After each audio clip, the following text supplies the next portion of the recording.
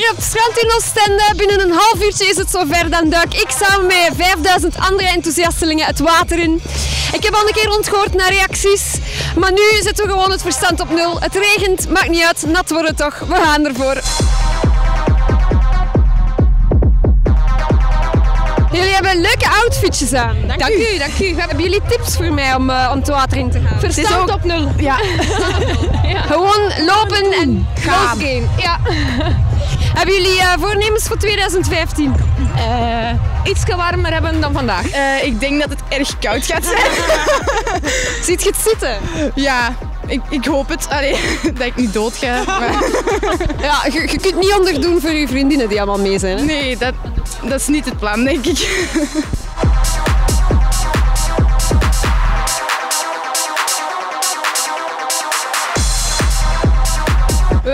De scouts van Hessel en wij komen vandaag om nieuwjaarsduiken. Doen jullie dat elk jaar? Um, nee, het is de eerste keer dat we dat doen nu. Maar ja, twee andere mensen van de scouts hebben dat wel al gedaan. En heb je er bepaalde verwachtingen van? Uh, dat het koud gaat zijn. Ja. Zie je het wel zitten om, om, uh, om het water in te gaan? Ja, ja dat komt goed. Tips? Um, ja, om ter eerst in het water gaan. Hè. Gewoon? Om ter eerst. Gewoon denk ik moet eerst eens zijn en dan ga je er wel in vallen. Of iemand ga je wel doen, dus je gaat er wel in geraken. Oké, geen zorgen.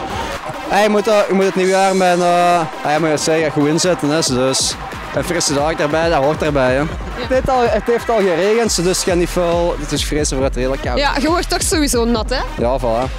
Als dat nu 10 graden is of 3 graden, zoveel, zoveel verschil gaat het niet maken. Hè.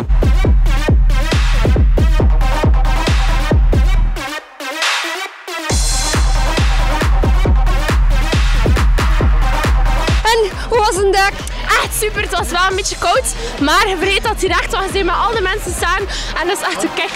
De kick van het lopen? Uh, ja, zeker. Al die mensen, het was wel een beetje vroeg gestart denk ik, maar het was echt heel chic. Al die mensen om te zien lopen, dat is echt heel chic. Heb jij meegezwommen? Ja. En wat vond je daarvan?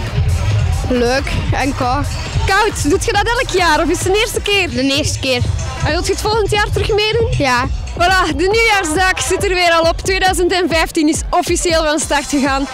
Iedereen heeft heel goede voornemens voor dit jaar. Maar nu gaan we ons toch vooral eerst een keer goed afdrogen.